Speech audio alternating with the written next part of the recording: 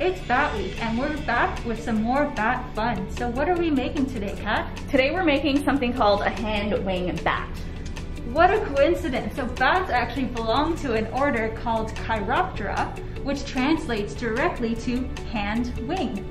So this is such a diverse group of animals that belong to this order with more than 1,400 species Whoa. of bats and more continue to be discovered. That's a lot of bats. That is a lot of bats. Can we try Chiroptera? Chiroptera. So Chiroptera. Chiro and ptera, like pterodactyl. Okay. Um, so to get started on our craft, there's gonna be a PDF on our website. You just have to find this one. It's gonna be labeled Hand Wing Bat. And you're going to take these shapes and trace them out, and then you're also gonna cut them up. And you're going to need your to trace your hand, and we're gonna have to cut two of these because bats have two wings. Yes, they do. So, are bats part of the bird family? No, bats are actually mammals. So mammals, just like humans, just like dogs, just like cats, um, they give birth to live young, they have fur, and they produce milk. Some of the defining characteristics of mammals. But what makes them very unique is that they are the only mammals capable of true flight.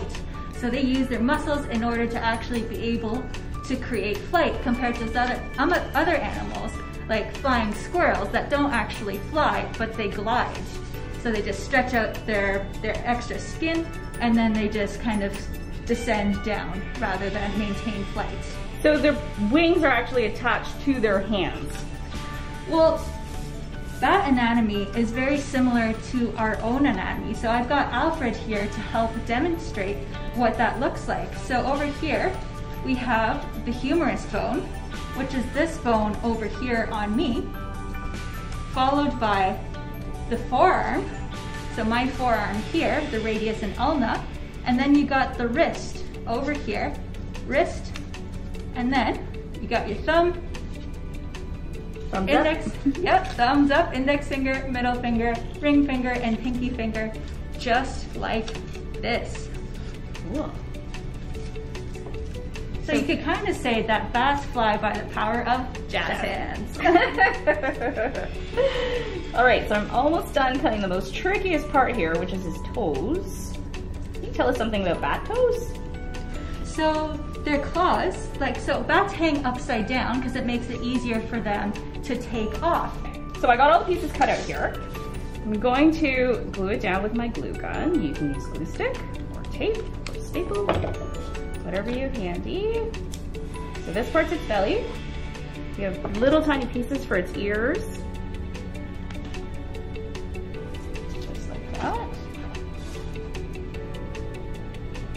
And then, the most important part is their wings. So I'm gonna flip them over upside down.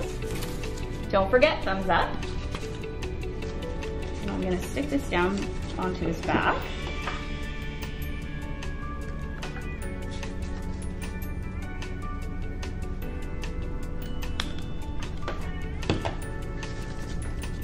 Just like that.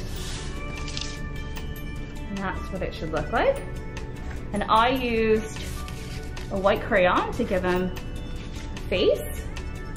This is oh. what we had uh-huh. made earlier. Oh, that's so cute. How are your bats at home looking? Now, just wanted to see if you remember, what was that fancy word that bats belong to? The one that means hand wing. Oh, chiro, like chiropractor. Yeah. Ptera, like pterodactyl? Exactly. so chiroptera, well chiroptera. done. Um, I'll work and, on it. and again, it's a it's its own group of animals with many, many kinds of different species. So thank you for joining us here today.